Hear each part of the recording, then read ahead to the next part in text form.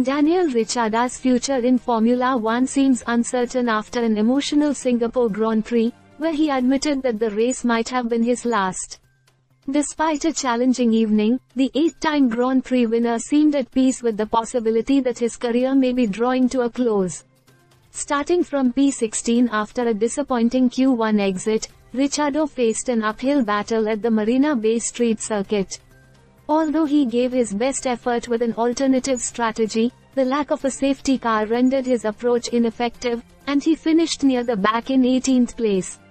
The Australian's Red Bull team made a late move to pit him for new soft tires, allowing Ricciardo to claim the fastest lap of the race, a gesture aimed at helping his teammate Max Verstappen in the championship race. Reflecting on the race, Ricciardo mentioned how he was simply having one last crack at doing a fast lap, knowing that it could be his final moment on the F1 grid.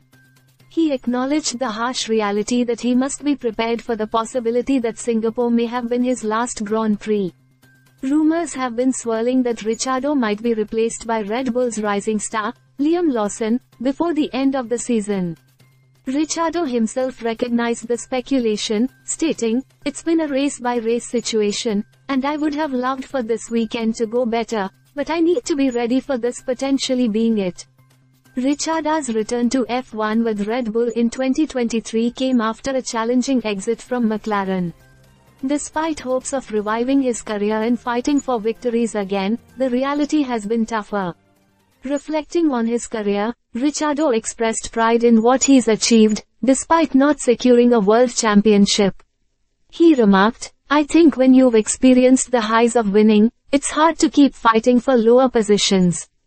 At 35, Ricciardo has acknowledged the increasing difficulty of competing at the highest level week in and week out, but he remains proud of his 14-year career.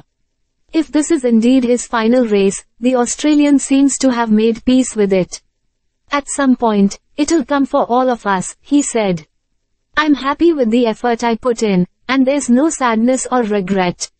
As he savored what could be his final moments in the cockpit, Ricciardo's vulnerability was clear. He took extra time in parc fermé, reflecting on his journey in the sport. Fans and fellow drivers alike are left wondering if this will truly be the last time they see the beloved driver on the F1 grid. Stay subscribed for more videos.